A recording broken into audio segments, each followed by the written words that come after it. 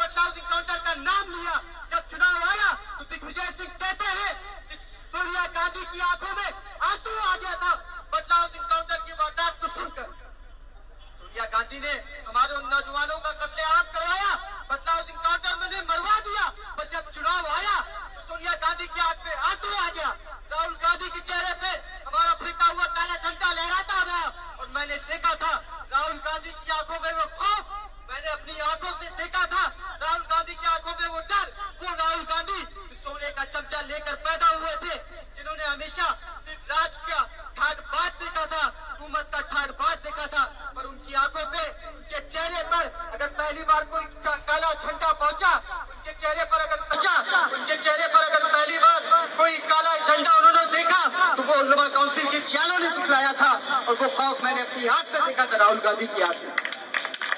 मेरे नौजवान साथियों, जो आपसे पूछते हैं कि आप किस आंदोलन आंदोलन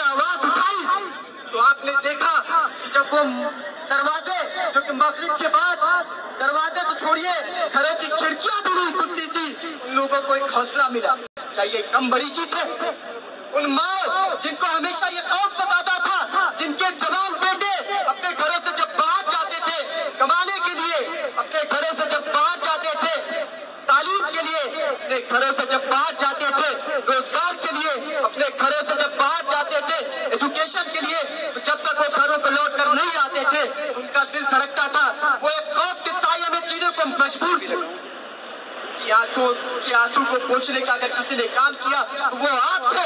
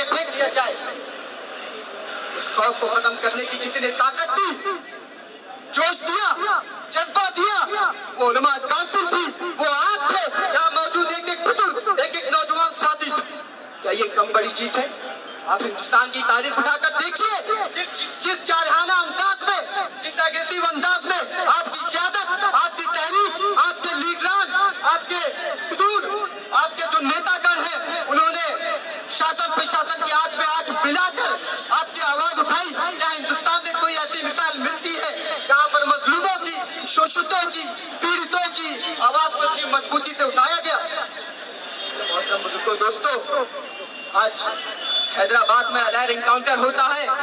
वहाँ पे एक बड़ी ताकत है मुसलमानों की। हुकूमत का हिस्सा भी है। पर एलआर इंकाउंटर में पाँच मुसलमान नौजवान मार दिए जाते हैं। आज तक उन्हें इंसाफ नहीं मिला। इंसाफ तो छोड़िए कोई उनकी आवाज़ उठाने वाला भी नहीं। आप उठाकर देखिए, मुल्क भर में न जाने कितनी ऐसी मिसालें मिल जाएँगी। क्यों? सिर्फ़ बटला हाउसी मुद्दा बना हुआ है। बटला हाउस इसलिए मुद्दा बना हुआ है क्योंकि आप ज़िंदा कौन है। बटला हाउस इसलिए मुद्दा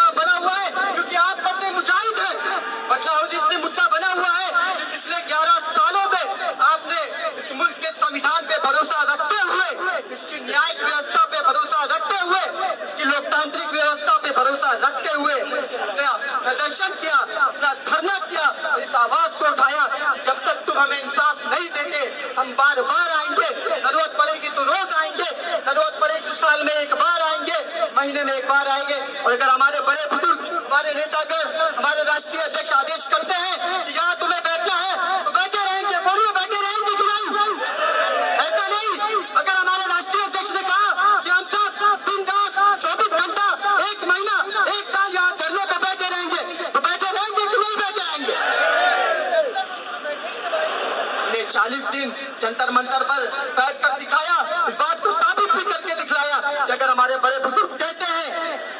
तो आपको करके दिखलाएँगे।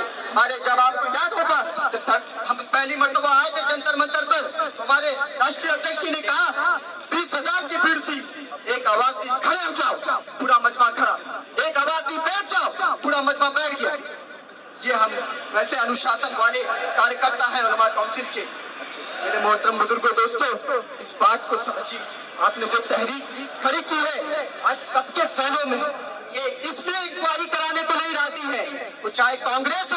चाहे केंद्र में बैठी भाजपा हो। वो चाहे दिल्ली प्रदेश के अरविंद केजरीवाल हो, क्योंकि ये जानते हैं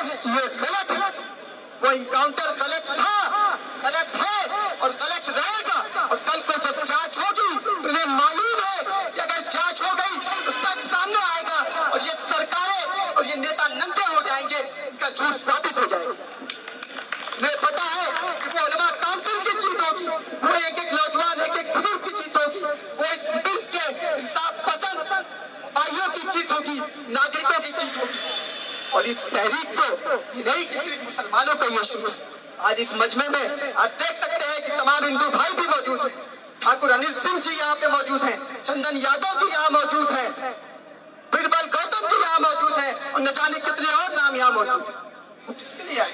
अगर ये मुद्दा सिर्फ़ मुसलमानों का होता तो वो यहाँ मौजूद नहीं रहते। उन्हें पता है कि ये मुद्दा न्याय के विरुद्ध अन्याय का है।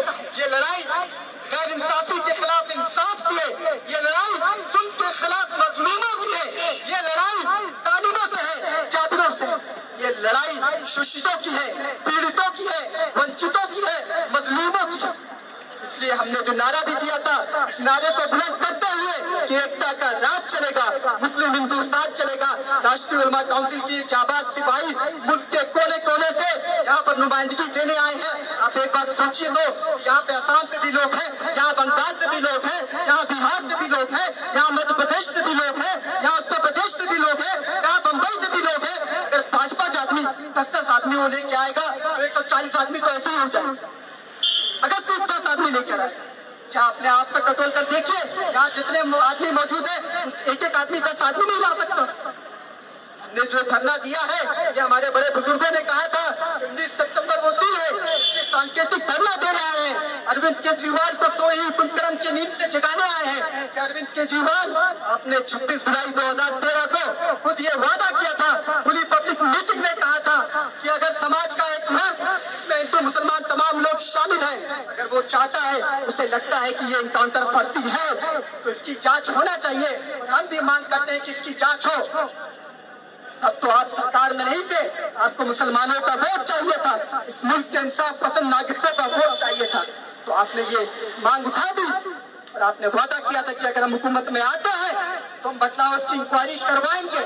आज आप हुकूमत में हो, आखिर बताओ अगर आप नहीं करा सकते तो आओ खुलकर सामने कहो कि हम मजबूर हैं हम नहीं करा सकते मर्द हो तो मर्द की तरह साथ देते हो वरना तो साबित करो कि तुम भी उन्हें नामर्दों की तरह हो जो सपा बसपा कांग्रेस भाजपा में पहले से मौजूद हो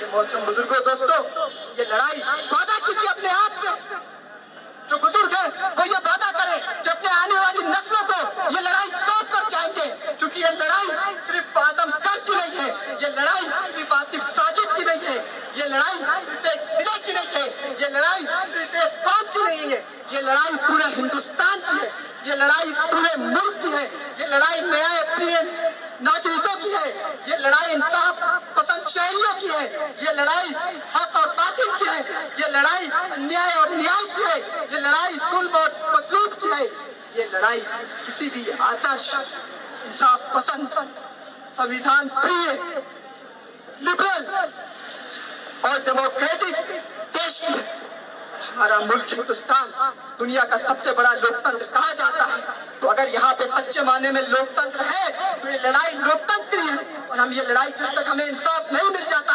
वादा कीजिए हाथ उठाकर कि जब तक इंसाफ नहीं मिलता, हम ये लड़ाई जारी रखेंगे।